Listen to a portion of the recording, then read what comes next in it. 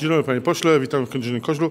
Co pana sprowadza z kolejną wizytą do miasta? Czy to już takie systematyczne spotkanie, czy jest jakiś szczególny cel dzisiejszej wizyty?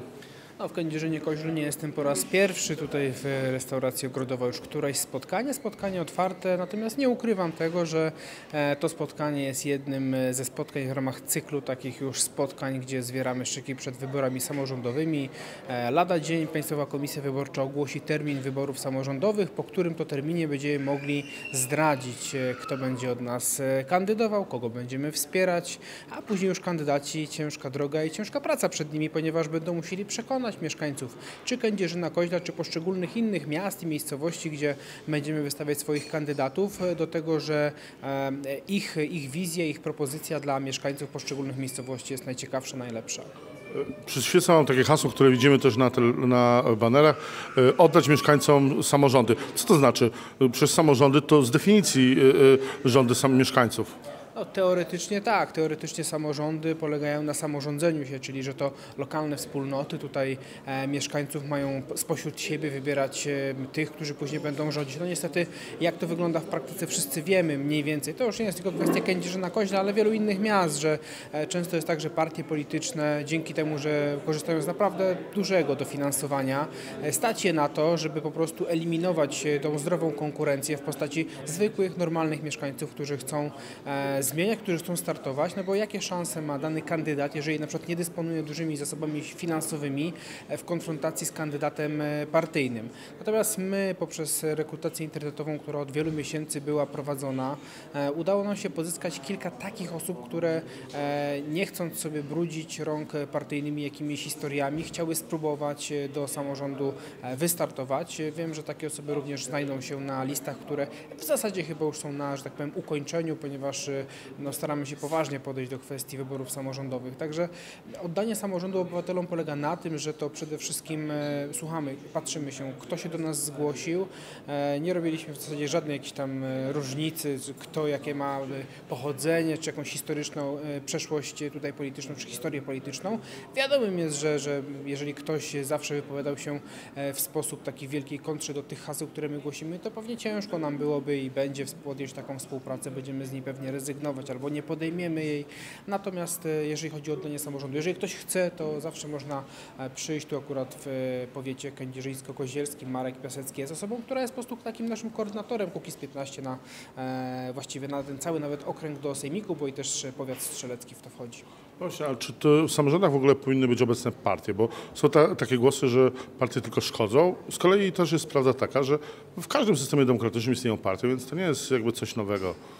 A tutaj ta sprawa została już e, rozstrzygnięta w praktyce, ponieważ często jest tak, że kandydaci partyjni e, na czas, e, na czas wyborów samorządowych zdejmują szyld partyjny, wyjmują z klapy marynarki i wtedy stają się, że to jest komitet wyborczy wyborców jakiegoś tam danego kandydata, który dzięki pieniądzom partyjnym już sobie zbudował swoją pozycję w danym mieście. Trochę to śmieszne, ale ja już do tego przy, przyzwyczaiłem, ponieważ jestem koordynatorem na wybory samorządowe z ramienia Kukiz 15 na cały Dolny Śląsk, czyli Dolnośląskie i Opolskie. E, Dwa województwa pode mną, że tak powiem, znaczy pode mną, mam, mam je w swoich rękach, że muszę to koordynować, to jest dużo Sam pracy. fakt, że poseł jest koordynatorem, też chyba pokazuje jednak te pewnych zależności partyjnych. Stoicie w kontrze do partii, ale sami też jesteście ugrupowaniem politycznym, tyle że nieformalnie nie macie statusu partii politycznej. To prawda, no my korzystamy z tego tutaj, właściwie ruch wykorzystuje to, że e, ja jestem posłem zawodowym, czyli ja otrzymuję wynagrodzenie za pracę w Sejmie i w ramach tej pracy poselskiej również e, tutaj przyjeżdżam innymi do Kędzierzyna, e, jutro do Kluczborka, wczoraj byłem w Opolu, w przyszłym tygodniu będę jeszcze jeździł po okręgu trzecim, który dostaliśmy, w, który ja dostałem w spadku po Kornelu Morawieckim, więc jestem taką osobą, którą po prostu stać i ma możliwość na to, żeby tutaj przyjeżdżać, ponieważ gdyby ktoś, kto na przykład żyje swoim własnym życiem, prowadzi działalność gospodarczą albo pracuje na etacie, prawdopodobnie taka osoba nie miałaby czasu, możliwości i środków, żeby się zaangażować na tyle, żeby koordynować dwa województwa, a wierzcie mi Państwo, to jest naprawdę spory kawałek ziemi. Ostatnio głośno się zrobiło, zwłaszcza w internecie, bo mało kto ogląda na żywo obrady y, Sejmu, pana wystąpienie, w której no, ostro się pan przyjechał po y, zarówno y, rządzącej partii, jak i głównej partii opozycyjnej, czyli Platformie Kukiz 15 chce być tą trzecią siłą. Przecież wszyscy jakby postrzegają was jako przystawkę cichego koalicjanta PiSu. No my nie chcemy być trzecią siłą, my jesteśmy trzecią siłą, takie są fakty. W ostatnich wyborach e, parlamentarnych to my zajęliśmy trzecie miejsce na podium, natomiast e, to, że przez długi czas byliśmy gdzieś spychani w takiej świadomości społecznej, proszę zauważyć samo to. Jedni mówią, że my jesteśmy przystawką pisowską, drudzy mówią, albo podnóżkiem, też takie jest ładne określenie, a drudzy mówią o tym, że jesteśmy koalicjantem PO albo że jesteśmy w opozycji totalnej. O koalicjancie PO to nie słyszałem. O PiSu owszem. Nie, o koalicjancie PO też, też się da słyszeć. To za, wszystko zależy od tego wyznawcy której z religii, czy to jest religia PiSu, czy religia PO, to w zależności od tego, którzy to są wyznawcy, to nas określają mianem e, tych złych e, ko, ko, koalicjantów swoich konkurentów politycznych. Tymczasem e, nie tylko z tego wystąpienia, bo mnie cieszy to, że ono w końcu zostało zauważone, chociaż kiedy oglądałem w mediach głównego nurtu relacje z tej debaty, to dziwnym trafem ani słowa, ani o mnie, ani o Kukiz 15, ani o tym, co powiedziałem. Ale jak media pominą, to i tak internet się upomni. no tak, e, internety jeńców nie biorą i tutaj faktycznie, jeżeli coś się pojawiło i, e, no, drodzy Państwo, ja po prostu zapytałem o jedną rzecz, a właściwie o dwie. PiS zapytałem, jak to jest, że przedstawiają projekt ustawy, w których są literówki, brakuje liter w wyrazach, no to jeżeli mamy taki poziom stanowienia prawa w Polsce, że e, brakuje liter w, w poszczególnych wyrazach, to chyba coś jest nie tak.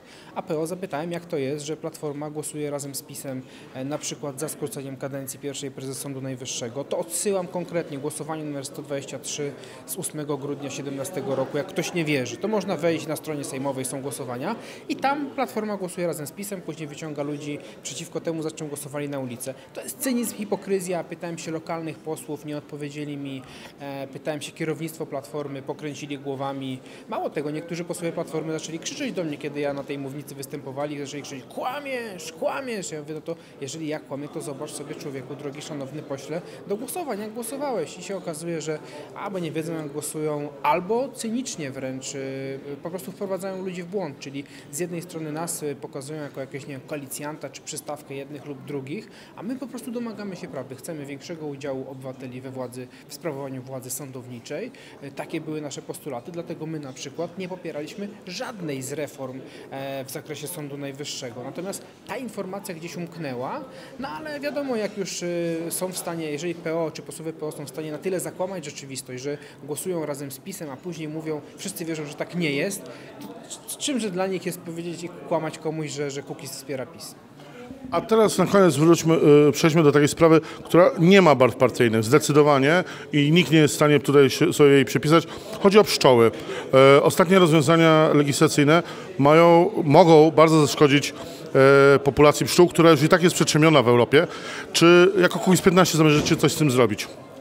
Ja słyszałem kiedyś takie słowa, z którymi się w pełni zgadzam, że jeżeli pszczoły wyginą, to my drugiego dnia też wyginiemy jako ludzie. Ja nie wierzę w żadne pszczele drony, ani tego typu e, sytuacje, które miałyby zastąpić naturę. Bodajże w maju, z tego co kojarzę, może w kwietniu było spotkanie w brzegu na Brzeskim e, Zamku, była konferencja pszczelarska, e, po której uzyskałem naprawdę bardzo szerokie, szerokie takie opracowanie podstawowych problemów, które e, świat pszczelarski, pszczelarze, ale i same pszczoły, które te problemy dotykają. No w tym momencie rząd próbuje coś z tym zrobić. Natomiast problem rządu polega na tym, a to nie jest tylko kwestia tego rządu, bo ja już poprzedni rząd też oglądałem, w sensie nie rząd pani Szydło, ale rząd pani Kopacz, że często jest tak, że są dobre intencje, które niestety powodują, że później w realizacji jest zupełnie przeciwskutecznie. E, Natomiast jeżeli chodzi o Kukiz 15, no nie jest tajemnicą, że my bardzo mocno opowiadamy się za tym, żeby nie było GMO, żeby nie było żywności modyfi- gene- genetycznie modyfikowanej.